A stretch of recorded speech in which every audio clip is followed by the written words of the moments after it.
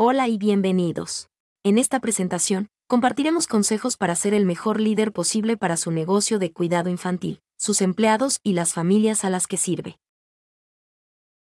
La información aquí contenida ha sido preparada por Civitaus Strategies y no pretende constituir un asesoramiento legal, fiscal o financiero. El equipo de Civitaus Strategies se ha esforzado razonablemente en la recopilación, preparación y suministro de esta información, pero no garantiza su exactitud, integridad, adecuación o vigencia.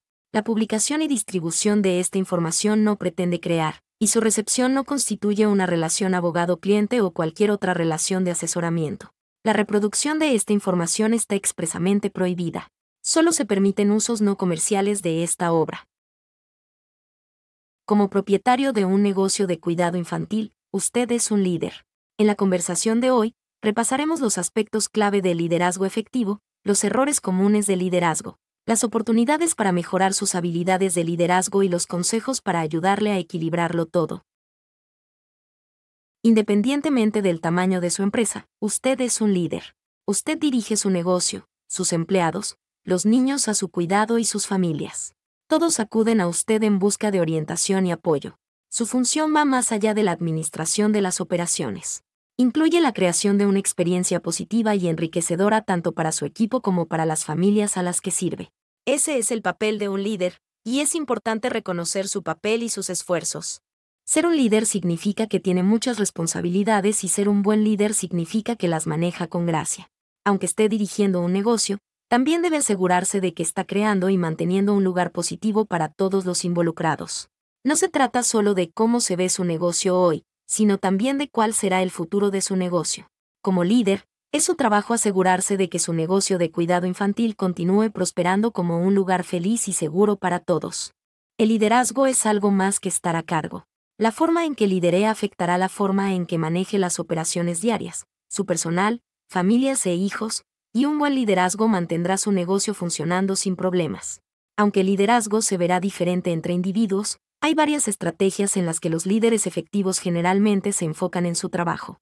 Veamos algunas de estas estrategias. Empiece por fomentar la confianza. Un personal que confía en usted y en los demás es más eficiente.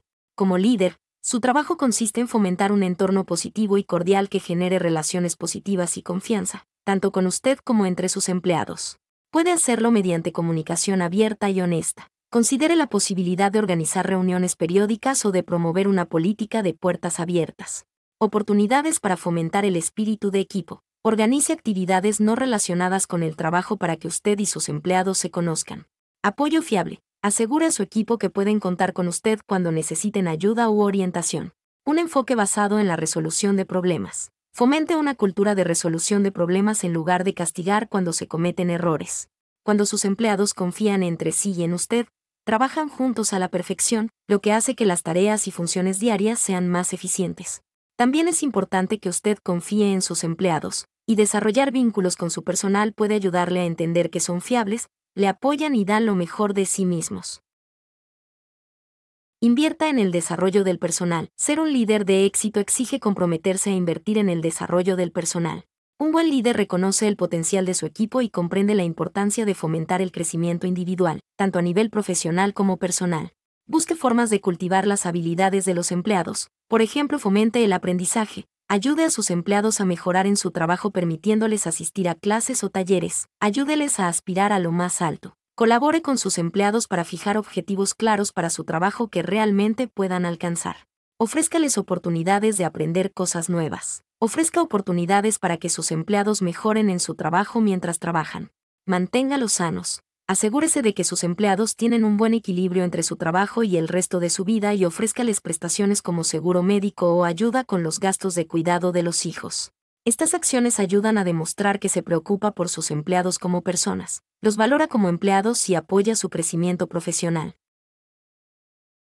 Por último, modele los valores de su empresa al modelar y enfatizar los valores que desea que su personal dé prioridad, puede marcar la pauta de un entorno estimulante y enriquecedor, al tiempo que fomenta la mejora de la calidad del entorno que proporciona y de los servicios que ofrece. Predique con el ejemplo, actúe de acuerdo con los valores de su empresa en sus acciones y decisiones cotidianas. Comuníquese abiertamente. Comparta el razonamiento en el que se basan sus valores y cómo guían sus prácticas empresariales. Reconozca y recompense la alineación. Reconozca y celebre los casos en los que los empleados demuestren sus valores empresariales. Adoptar este enfoque demuestra claramente su compromiso con sus valores y con los niños a su cargo. Muestra a los empleados su dedicación y pasión, animándoles a imitar el mismo nivel de compromiso. Como líder, es esencial modelar los comportamientos que espera de su personal. Al hacerlo, mantiene sus normas y establece la igualdad, demostrando que cree en estos valores de todo corazón.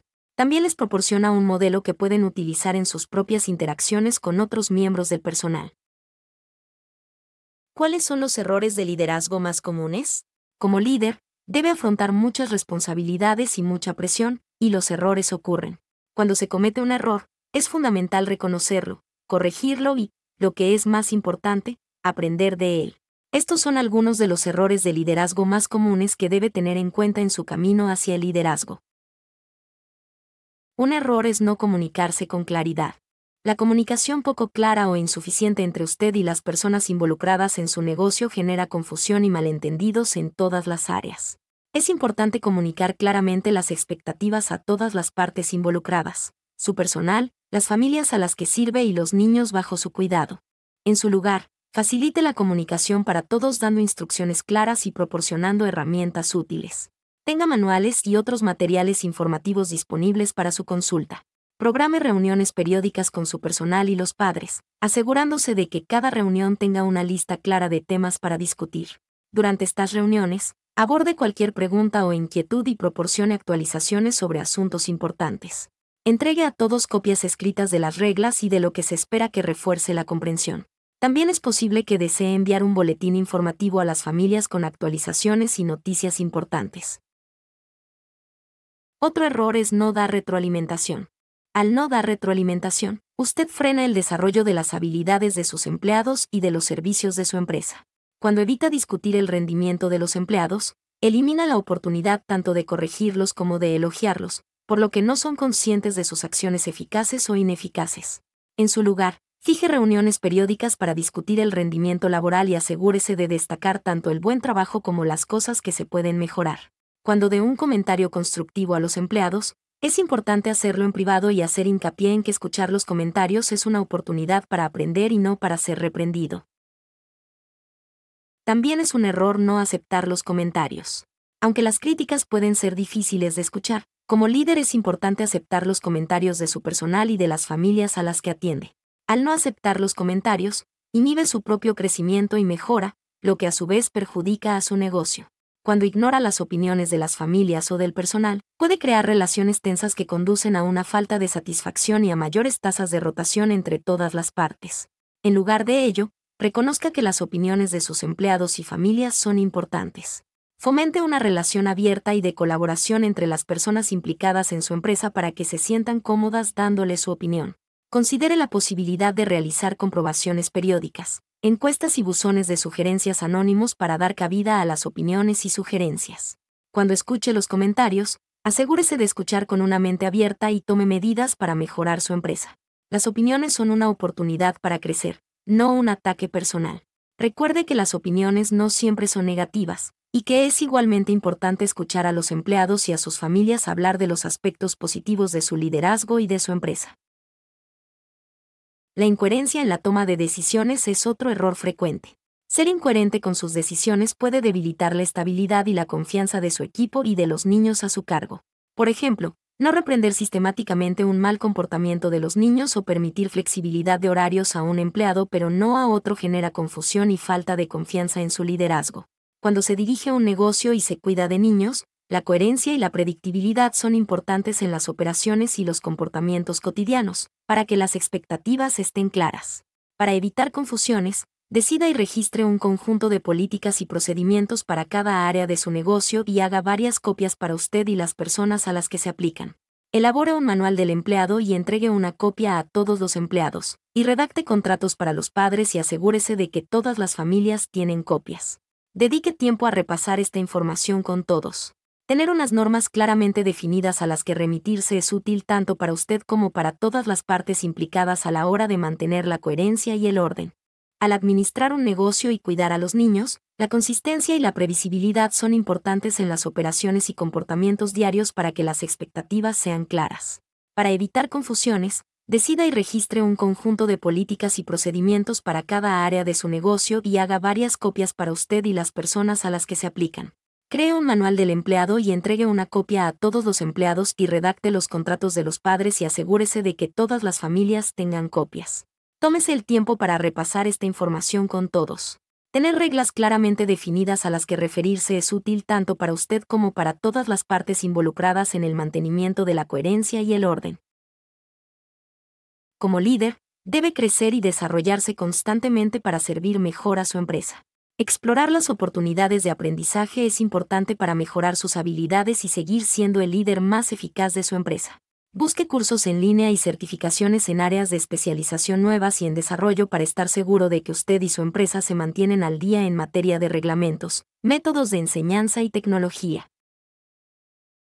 Trabajar en red y relacionarse con colegas del sector de la atención infantil es también una forma excelente de aprender y crecer como empresario y como líder. Únase a la Asociación Nacional para la Educación de Niños Pequeños, NAICI, o, si se dedica al cuidado de niños en familia, a la Asociación Nacional para el Cuidado de Niños en Familia, NAFSI. Estas organizaciones pueden ponerle en contacto con otros empresarios y proporcionarle importantes recursos en el sector del cuidado infantil.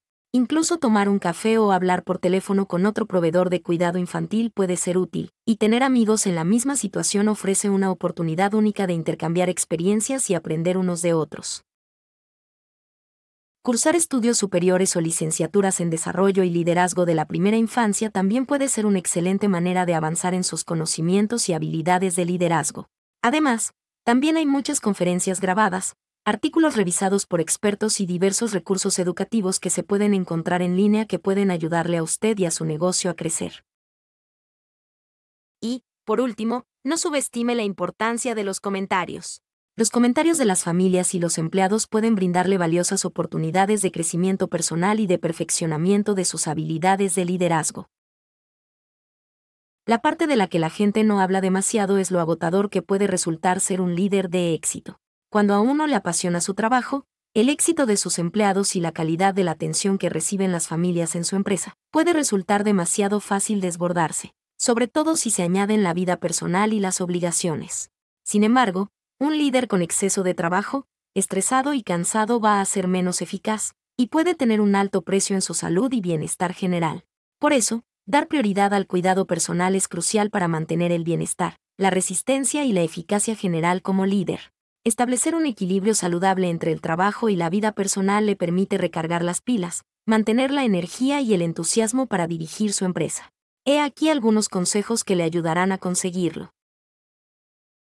Para mantener el equilibrio entre la vida laboral y personal, es importante establecer límites con uno mismo y con los demás.